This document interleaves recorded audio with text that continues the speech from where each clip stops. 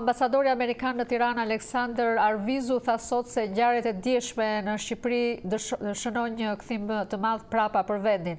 Ambasadori Arvizu bëri thirrje që të shmangen protesta të ngjashme në të ardhmen. Të ndjekim për hollësi të tjera nga Tirana, korrespondentin tonë Ilirian Agolli.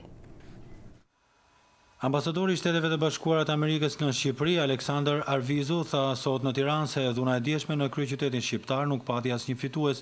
Ai u bëri thirrje udhëheqësve politikë dhe qytetarëve të ndalin aktet e dhunës.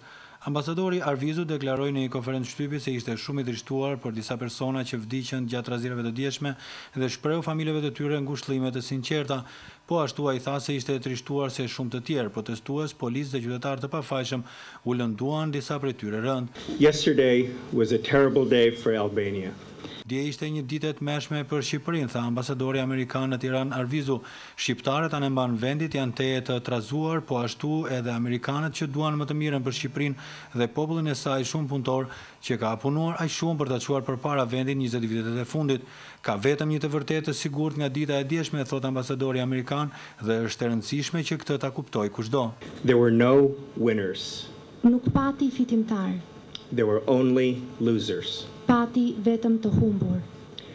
This was a dramatic setback and one from which the country needs to recover. Nuk pati fitimtarë, tha ambasadori Arvizu. Pati vetëm të humbur dje. Pati një zmbrapsje dramatike nga e cila vendi duhet të kapërcejë.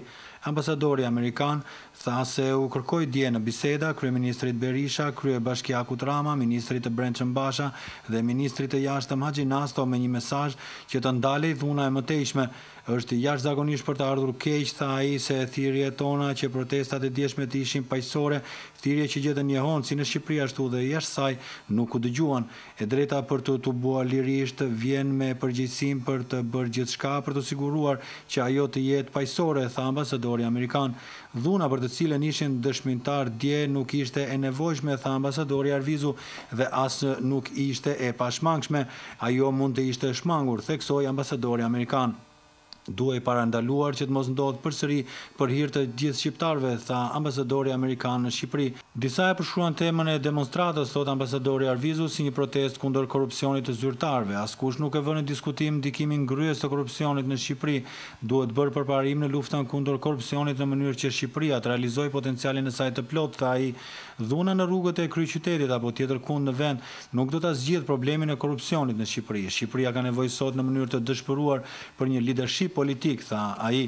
Ne u kemi kërkuar udhëheqësve politikë shqiptarë të gjejnë rrugët për kompromis politik, thotë ambasadori amerikan, kur njëra palë apo të dyja këmbëngulin për pozicione maksimaliste.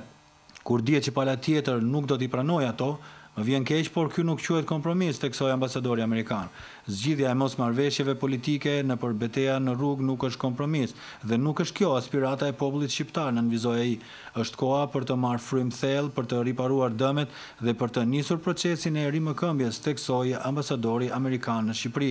Për ngjarjet e djeshme, tha ai, duhet të dalin përgjegjësitë, përfshirë dhe një hetim të besueshëm mbi mundësinë se ka patur përdorim të tepërt të forcës. Sidoqoftë, u bëjmë thirrje qytetarëve shqiptarë që të mos arrijnë në përfundime, por t'i japin prokurorëve kohë të mjaftueshme për ta çuar deri në fund hetimin, tha ai. Është koha për të hequr dorë nga provokime të mëtejshme, tha ambasadori amerikan. Është koha për t'u dhënë fund inkriminimeve dhe sharjeve të ndërsjellta. Është e nevojshme që të gjitha palët të tregojnë vetëpërmbajtje, thotë ambasadori Arvizu, Mbi gjithçka, është koha për t'i dhënë fund dhunës, theksoi ai. Është koha që udhëheqësit politikë shqiptarë dhe i gjithë populli të përkushtojnë veten në shërbim të vendit dhe interesave të qytetarëve të tij. Për Zërin e Amerikës, Ilirian Agolli, Tiranë.